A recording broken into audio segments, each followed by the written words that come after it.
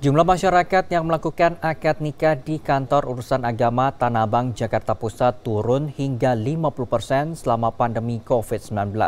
KUA Tanah Abang juga menerapkan protokol kesehatan ketat bagi para pengantin dan keluarga pendamping.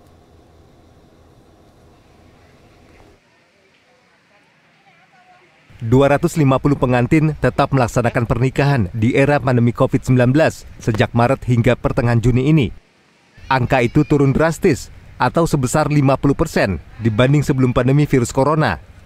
Kantor Urusan Agama atau KUA Kecamatan Tanah Abang, Jakarta Pusat menerapkan protokol kesehatan ketat selama masa pandemi. Seperti calon pengantin hanya bisa mendaftar melalui daring, pembatasan orang yang ada dalam ruangan, yaitu 10 orang, dan wajib menggunakan masker. Sejak penerapan PSBB transisi di DKI Jakarta, penghulu sudah diizinkan untuk dipanggil ke rumah ataupun di tempat acara lain. Nah, dan di KUA itu mereka hanya kita menikahkan adalah orang-orang yang sudah melakukan pendaftaran sebelum pandemi. Sebelum pandemi ada kan udah daftar sebelumnya.